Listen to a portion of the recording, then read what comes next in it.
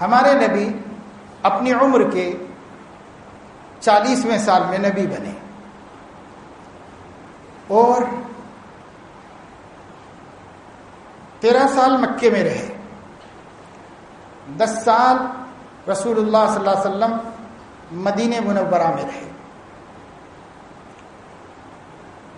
इस्लाम का कैलेंडर आपकी हिजरत से शुरू होता है। और ये कैलेंडर को भी, ये छठे तबके को इस्तेमाल नहीं करना चाहिए।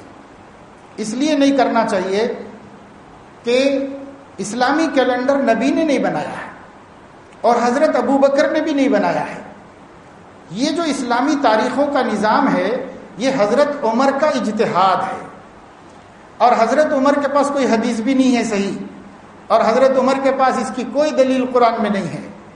हज़रत उमर के ज़माने में बात आई कि लोग हर कौम की तारीख होती है और ईसाइयों की हज़रत ईसा की विलादत से बराबर तारीख चली आ रही है। हम लोगों को भी अब दीन की हिफाजत करना है कि नबी ने कब क्या कहा था और सब आगे बयान करना है लोगों को। तो हमारा कोई कैलेंडर होना चाहिए, हमारी कोई जंतरी होना चाहिए। जब ये बात आई तो हज़रत उमर ने हजब मामूल शूरा को बुलाया, उनकी पार्लियामेंट आई, बैठी उसमें से कोई भी नबी नहीं था, सब गैर नबी थे और सब गैर नबियों ने बैठ करके मशवरा किया और मशवरा करके कहा कि भाई हमारे नबी की तारीख पैदाइश से इस्लामी कैलेंडर बनाना चाहिए, जैसे ईसाइयों ने बनाया। तो हज़रत उमर ने कहा कि यह मुनासिब नहीं है। तमाम बातिल कौमों का तरीका यही है कि वो अपने पेशवा की तारीख पैदाइश को मैार बनाते हैं। हम लोग ऐसा ना करें, उनसे इम्तियाज़ रखें और वो इम्तियाज़ ये है कि ऐसा किया जाए कि हिजरत से हम बना लें।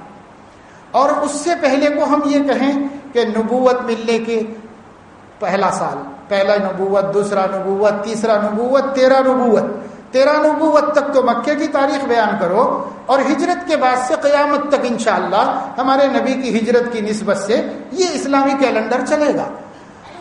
और बेचारे अल्लाह के बंदे जो नबी के अलावा किसी का कौल हुज्जत नहीं समझते, फेल हुज्जत नहीं समझते, उनका भी मुहर्रम, सफ़र शाहबान सब इधर ही चल रहा है। हालाँकि वो हज़रत उमर की बिदत है और हज़रत उमर की बिदत पे ज़िंदगी गुजार रहे हैं।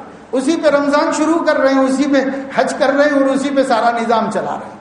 तो बात यह है कि मीठा मीठा हब कड़वा कड़वा थू उमर की जो बिदत जरा बीस रकात खड़े रहा पड़ता भाई तो आठ वाली बात सही है। वो उमर की बिदत नहीं मानेंगे नहीं। और ये कैलेंडर हो या कोई दूसरी चीज़ हो जिसमें अपनी सहूलतें हैं, अपनी राहतें हैं तो साहबा ने भी की है तो काबिल कबूल है। साहबा की भी ले लो, उसमें क्या है भाई? साहबा गलत थोड़ी थे।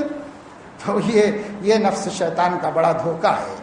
मैं आपको बताना चाह रहा हूँ, कितने मुखलिस हैं आप देख ले, जो बार बार बुखारी बुखारी कहते हैं, वो अपने अकीदों में कितने मुखलिस हैं वो देख ले। हर जगह आपको तजाद मिलेगा यहाँ कुछ कहेंगे, वहाँ कुछ कहेंगे, यहाँ कुछ कहेंगे, वहाँ कुछ कहेंगे, हर जगह तजाद मिलेगा आपको। और इसी वजह से हम उनको अहल सुन्नत नहीं मानते, अहल सुन्नत के बाहर मानते हैं। तो खैर, तेरह साल मक्के में रहे नबी, दस साल मदीने में रहे, दस साल के बाद आपका विशाल हो गया। हज़रत नबी करीम सल्लल्लाहु अलैहि वसल्लम का जब विशाल हुआ तो इख्तलाफात शुरू हुए उसी दिन जिस दिन नबी का इंतकाल हुआ। इख्तलाफात शुरू हुए। आपने पेशीन गोई कर दी थी कि मेरे बाद होंगे। इन नहू सईश मिनकुम बादी, फसयरा इख्तलाफन कसीरा। जो कोई मेरे बाद ज़िंदा रह जाएगा, वो बहुत से इख्तलाफ देखेगा। तो इख्तलाफ जो चीज़ है, हुजूर सल्लल्लाहु अलैहि वसल्लम ने उसके पेश कयासी करके मजम्मत नहीं फरमाई, जिसका मतलब यह है कि इख्तलाफ नागुजीर है और नबी उसको कबूल करते हैं। इसलिए आपने फरमाया, मेरे बाद इख्तलाफ होगा। तो फिर वही सवाल हुआ कि इख्तलाफ हुआ तो क्या करें?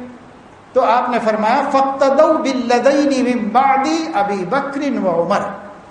मेरे बाद अबू बकर उमर जो कह दें, उसको मान लो और उसी को तुम इत्तबा कर लो तो वो इख्तलाफ से बच जाओगे तुम।